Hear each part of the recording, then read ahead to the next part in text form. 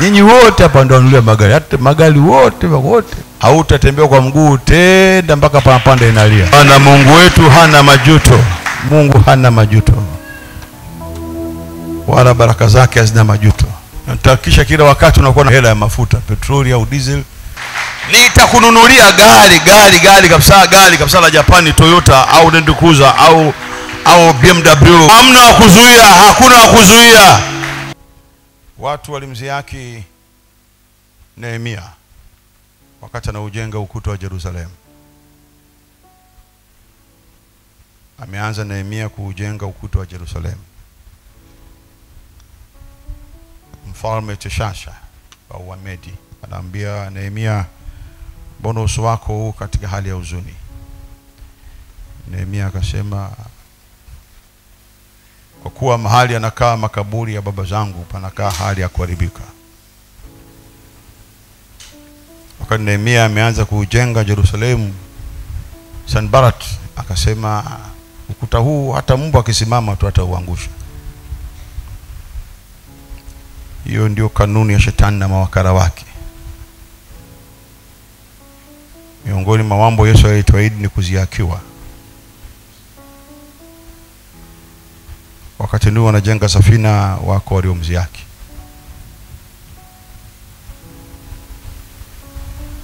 haleluya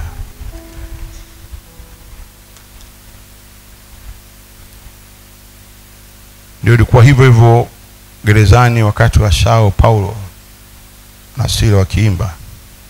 Wakati wanaimba wafunga wenzao wakawa wanawatazama. Wakati Lutu anatoka Sodoma akawa kama achezaye machoni pa wakwe zake.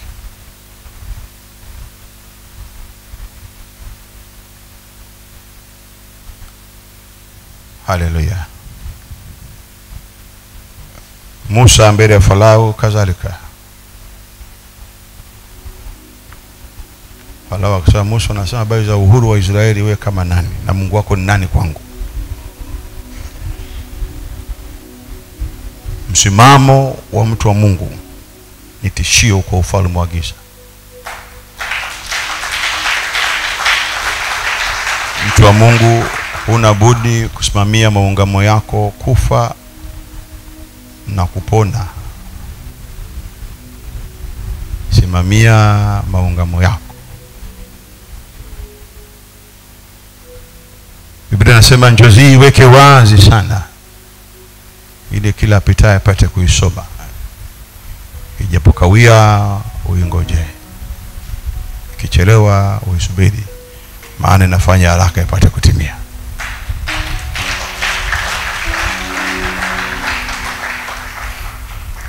Kwa njozi yetu ya ishirini ishirini na tatu ishirini na nne tumeweka wazi, tumebandika hata pale kwenye soko kubwa Dar es Salaam naitwa Mlimani City. Tumeweka mabango yanasema mwaka wa maokoto, yanawaka mabango yale masaa ishirini na nne. Na Mlimani kwa siku moja nakusanya watu elfu ishirini. Kila siku, watu elfu ishirini wanaingia pale. Tumeweka wazi maono haya.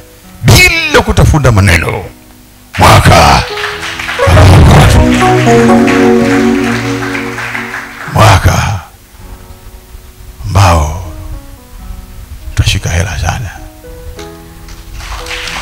mwaka huu wa maokoto. Ili uweze kufanikiwa, usidanganye watu.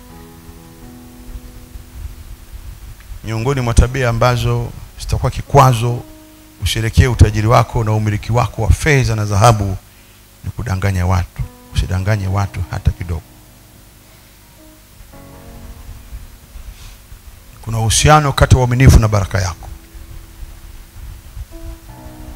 Uaminifu ni utawala. Ukitaka uwamiliki watu, kwa mwaminifu kwao. Watu wanakuwa wepesi, wanakuwa wadogo kama Peyton kwa mtu mwaminifu. Huwa wanaga cha kusema, hata wakisema maneno yao yanakosa nguvu, yanakosa munyu. Mioyo ya watu ilivyoumbwa tu, walivyoumbwa wao, nature yao, wakimwona mtu mwaminifu, nyota zao zinasujudu.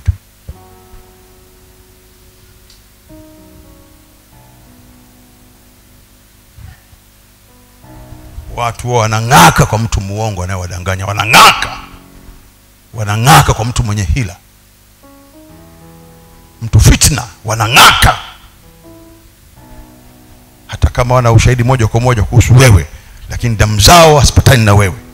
Maana mtu sio mwaminifu.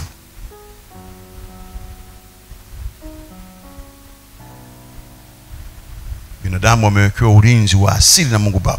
Wakikutana mtu ambaye si mwaminifu damu zao zinasema kwamba mtu si mwaminifu. Inakuwa zaidi sana ukiwatendea ambao si waaminifu. Usiwadanganye watu na wala usidanganye nafsi yako mwenyewe. Ukitenda hayo kutokudanganya watu hakika yake nitakujengea nyumba nzuri sana.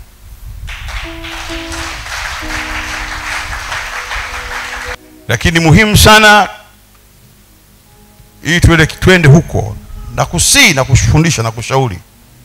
Usiwe mwepesi kukata tamaa. Usiwe mwepesi kukata tamaa. Wakati mwingine hata kama yapo makubwa ya kuvunja moyo sema kama daudi jitie moyo katika bwana. Kuna mahali pa kushika kila mahala panateleza. Basi, basi jitie moyo katika bwana. Sema mungu yupo sema mungu yupo. Lakini usikate tamaa. Na kuna wakati hata pakushika uoni. Paulo mtume anasema basi furahini katika bwana. Jitie moyo katika bwana. Lakini usikate tamaa. Usichoke. Maana hakuna atakayewajibika badala yako. Mwenye wajibu na maisha yako ni wewe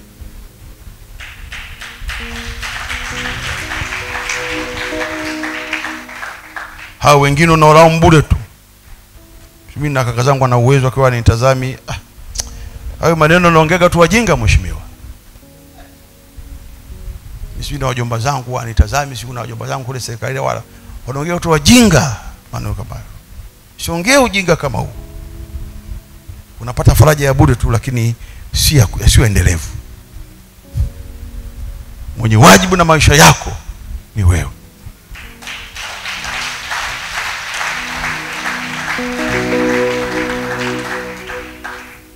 jambo likiwa zuri jipongeze wewe pongeza na mungu wako. Usikate tamaa wala usichoke. Usichoke. Usichoke. Endelea kuamini.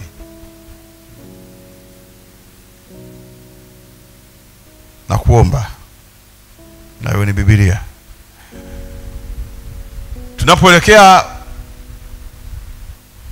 kwenye agano la mungu baba usiongozwe usiamue mambo kwa miemko bali kwa utafiti tena wa kina. Na hasa kina mama na waombeni sana msiamue mambo. Unajua hisia ni mungu aliziumba lakini mungu aliumba pia rafiki wa hisia ni, ni, ni akili kufikiri. Ukishahisi jambo usipeleke kwenye utekelezaji. Liingize kwenye mashine nyingine inaitwa akili. Kwa hiyo unakwenda una, una, unalichakata kwenye akili. Unakwenda kwenye biblia. Na kadhalika na kadhalika na nakazaka ushajirizisha ndio unalipeleka kwenye utekelezaji.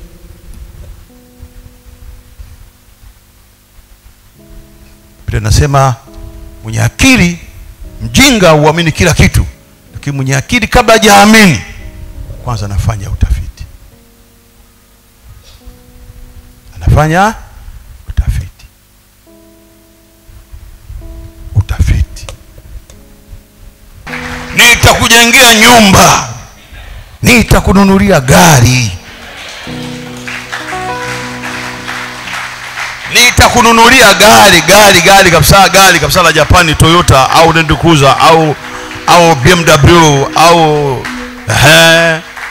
na nyumba ambayo mzapo nitakujengea sio nyumba kama hizi au kama unayokaa ina hazi kabisa Mungu unayemtumikia, nyumba kabisa, nyumba kabisa. Hamna wa kuzuia, hakuna wa kuzuia. Marekani haitazuia wala China wala mvua wala jua wala upepo hakuna kitakachozuia, hakuna chochote kitatokea kuzuia. Haina nasema mimi. Baadaye shetani akiuliza kulikoni mwaka mwakoto, mwambie Mungu wa dunia yote amenitangulia. Kulikoni mwaka wa maokoto, Mungu wa dunia yote amenitangulia.